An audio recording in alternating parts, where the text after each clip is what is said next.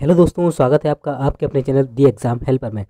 तो दोस्तों, आज के इस वीडियो में हम बात करेंगे कि आपका जो रिज़ल्ट है I P S R R B clerk mains का, वो काफ़ी समय से जो है वेटिंग लिस्ट में लगा हुआ है। जैसा कि आपको मालूम है, आपका जो एग्ज़ाम था वो सत्रह अक्टूबर को कंप्लीट हो चुका है और इसका जो रिज़ल्ट है वो अभी भी नहीं आया है। लगभग चौदह दिन, लगभग तेरह से चौदह दिन हो चुके हैं अभी तक इसका जो रिज़ल्ट है वो नहीं आया है। तो आज तो देखिए, आज तो संडे है तो आज तो इसका रिज़ल्ट आने को रहा।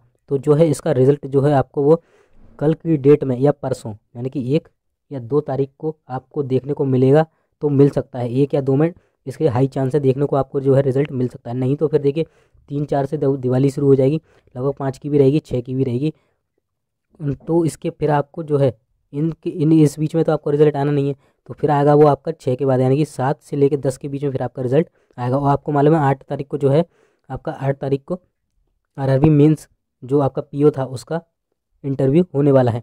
तो कहीं ना कहीं देखिए, कल और परसों जो है हाई चांस रहने वाले हैं, जहाँ तक है I B P S R R B जो है, वो कल ही जो है, कल या परसों की डेट में जो है, आपका रिज़ल्ट नाइन्टी नाइन परसेंट जो है, वो चांसेस हैं जारी करने की, क्योंकि लगभग लास्ट ईयर जो है, उसने ग्यारह दिन के अंदर जो है रिज़ल्ट दिया था, ठीक है?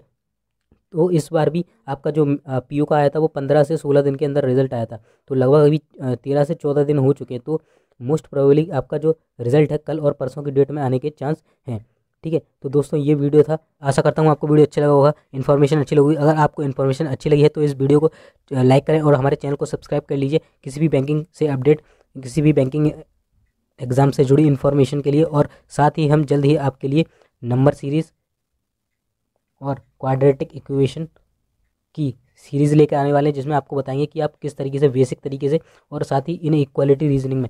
किसने बेसिक तरीके से बताया जाएगा, बिल्कुल आप मतलब ट्रिक से बताया जाएगा कि मतलब आपका जो क्वेश्चन है वो कभी भी गलत नहीं होगा, बिल्कुल सही आपके चांस होने के, जब भी आप क्वेश्चन करेंगे वो हंड्रेड परसेंट सही होने के चांस रहेंगे, ठीक है? तो मिलते हैं नेक्स्ट वीडियो तब तक के लिए जय हिंद, जय भारत।